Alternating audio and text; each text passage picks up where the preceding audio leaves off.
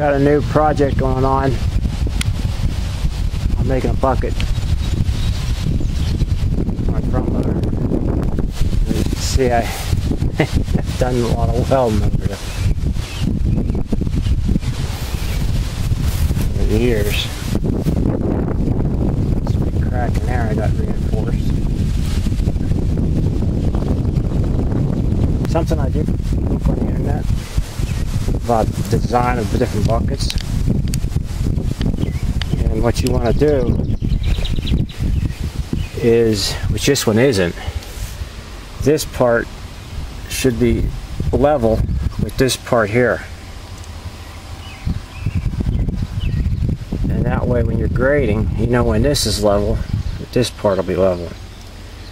So when you're grading something, which makes a lot of sense,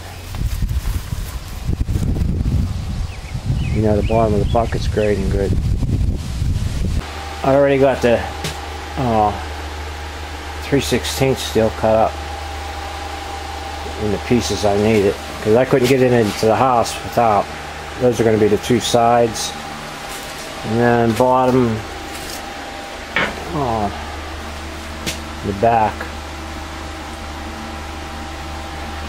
and then there's some pieces here I got cut up yet I had to cut them up to get them in here. It was too heavy. I think it's I think it was 400 pounds a sheet.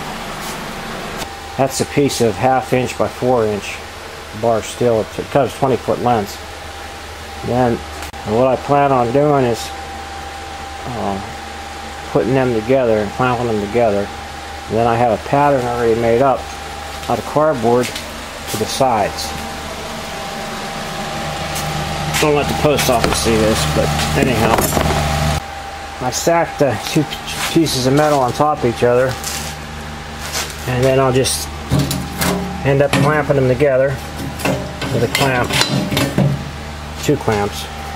Uh, actually I'll put it on where a piece I'm going to cut out and then I'll cut both pieces at the same time.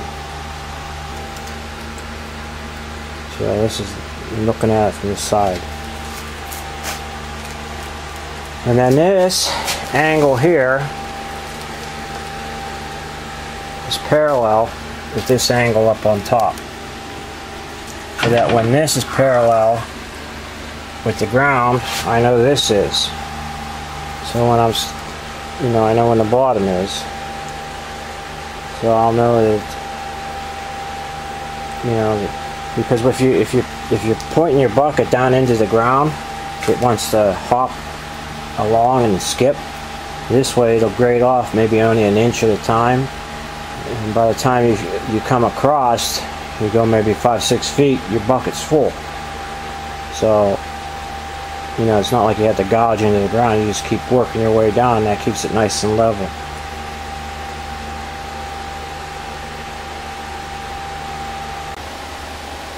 Yeah, I got some pieces together. I got four pieces together. I didn't want to cut, I, that's something I cut ahead. I didn't want to cut more than that because uh, may start shrinking, may start growing a little bit. So, but so far I'm pretty satisfied with it.